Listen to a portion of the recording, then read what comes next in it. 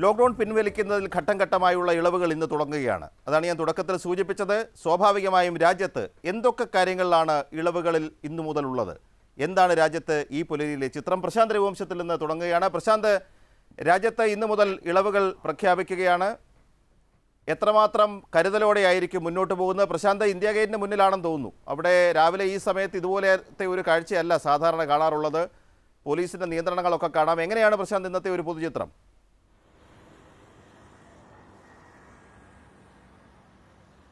സുരേഷ് നമസ്തേ. എന്തായാലും നമസ്തേ കേരളം ഇന്ത്യ ഗേറ്റിന്റെ മുന്നിൽ നിൽക്കുമ്പോൾ നമുക്ക് നമസ്തേ ഇന്ത്യ എന്നുകൂടി പറയേണ്ടി വരും. സുരേഷ് പറഞ്ഞതുപോലെ തന്നെ ഇന്ത്യ ഗേറ്റിന്റെ മുന്നിൽ ഇപ്പോൾ ബാരിക്കേഡുകളും മറ്റും വെച്ചിട്ടുണ്ട്. കാരണം ഇന്ത്യ ഗേറ്റിലേക്ക് ജനങ്ങൾ പ്രവേശിക്കുന്നത് വലിയ ആൾക്കൂട്ടം ഒഴിവാക്കാനായി കുറച്ച് ദിവസങ്ങളായി ഇവിടെ ബാരിക്കേഡുകളും മറ്റും വെച്ചിരിക്കുകയാണ്. ആ ബാരിക്കേഡുകൾക്ക് ഇപ്പോൾ മാറ്റമില്ല. പ്രധാനമായും ഇപ്പോൾ വലിയ ആൾക്കൂട്ടങ്ങൾ ഒഴിവാക്കുക എന്നതാണ് ലക്ഷ്യം. കാരണം ഈ ഇന്ത്യ ഗേറ്റാണ് പ്രധാനമായും ദില്ലിയിൽ ആൾക്കാരൊക്കെ തടിച്ചുകൂടുന്ന ഒരു പ്രദേശം. അതുകൊണ്ട് അത്തരത്തിലുള്ള ആൾക്കൂട്ടങ്ങൾ നിയന്ത്രിക്കുക എന്ന ലക്ഷ്യത്തോടു കൂടിയാണ് ഇന്ത്യ ഗേറ്റിന് ഈ വലിയ സുരക്ഷയും മറ്റും ഏർപ്പെടുത്തിയിരിക്കുന്നത് ഈ ബാരിക്കേഡുകളും മറ്റും ഏർപ്പെടുത്തിയിരിക്കുന്നത്.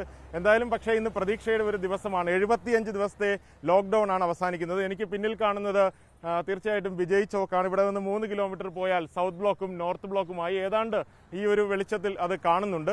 നമുക്കറിയാവുന്ന പോലെ പല മാർഗനിർദ്ദേശങ്ങളും പുറത്തിറക്കുന്നത് ഈ ഒരു സൗത്ത് ബ്ലോക്കിൽ നിന്നും നോർത്ത് ബ്ലോക്കിൽ നിന്നുമാണ്. ഇതുവരെ പുറത്തിറക്കിയ പല മാർഗനിർദ്ദേശങ്ങളിലും നമുക്കറിയാവുന്ന പോലെ തന്നെ ജനങ്ങളുടെ ജീവിതം എങ്ങനെയായിരിക്കണം നിയന്ത്രണങ്ങൾ എങ്ങനെയായിരിക്കണം എന്നൊക്കെയാണ് ഈ മാർഗനിർദ്ദേശങ്ങളിൽ പ്രധാനമായും കേന്ദ്ര സർക്കാർ വ്യക്തമാക്കുന്നത്. പല മുതിർന്ന മാധ്യമപ്രവർത്തകരും പറയുന്നുണ്ട് മുമ്പ് ഒരു ലൈസൻസ് രാജ് നമുക്കറിയാവുന്ന പോലെ നിലവിലുണ്ടായിരുന്നു.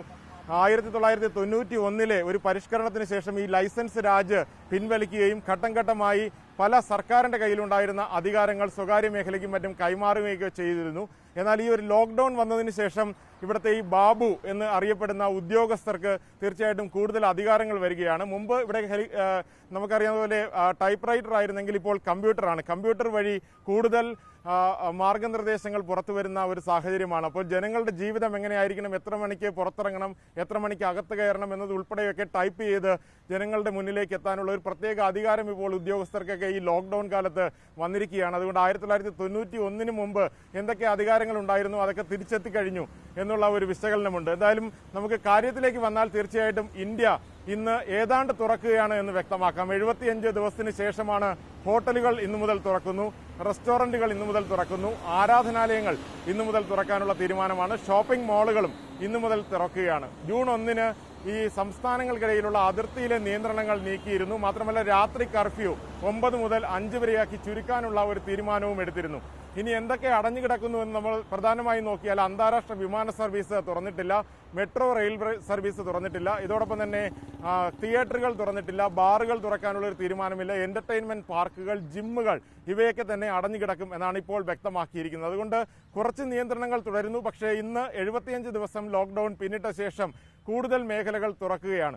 ഇന്നിപ്പോൾ തുറക്കുമ്പോൾ ദില്ലിയിൽ ഉൾപ്പെടെ ഇപ്പോൾ എന്തായാലും കൂടുതൽ മേഖലകൾ തുറക്കാനുള്ള തീരുമാനമെടുത്തിട്ടുണ്ട് ഇവിടെ ഹോട്ടലുകൾ മാത്രമായിരിക്കും അടഞ്ഞു കിടക്കുന്നത് ആരാധനാലയങ്ങളും റെസ്റ്റോറന്റുകളും മാളുകളും തുറക്കാനാണ് തീരുമാനം. ആരാധനാലയങ്ങളും റെസ്റ്റോറന്റുകളും മോളുകളും തുറക്കുമ്പോൾ സാമൂഹ്യ അകലം പാലിക്കാനുള്ള എല്ലാ നിയന്ത്രണങ്ങളും നേരത്തെ സുരേഷ് ചൂണ്ടിക്കാട്ടിയതുപോലെ തന്നെ ഏർപ്പെടുത്തിയിട്ടുണ്ട്. സർക്കാർ റെസ്റ്റോറന്റുകളിൽ മാത്രം പകുതി സീറ്റുകളിലെ ആൾക്കാർ പാടുള്ളൂ എന്നുള്ളൊരു നിർദ്ദേശമാണ് പ്രധാനമായും നൽകിയിരിക്കുന്നത്.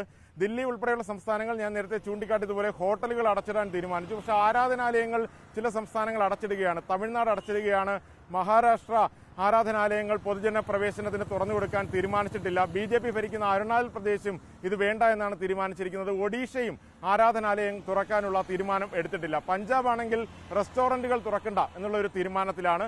അതുകൊണ്ട് പൊതുവായി പല സംസ്ഥാനങ്ങളും പലതരത്തിലുള്ള നിലപാടുകളാണ് ഇപ്പോൾ പ്രകടിപ്പിക്കുന്നത്. രാജ്യം മുഴുവൻ തുറക്കാൻ ഉള്ള ഒരു തീരുമാനം കേന്ദ്ര സർക്കാരിന്റെ ഭാഗത്തു നിന്നുണ്ടെങ്കിലും സംസ്ഥാനങ്ങൾ അത് നിയന്ത്രിക്കുക എന്ന ലക്ഷ്യത്തോടു കൂടിയാണ് മുന്നോട്ട് പോകുന്നത്. പൊതുവായ നിയന്ത്രണങ്ങൾ ഇവിടെയെല്ലാം തുടരും.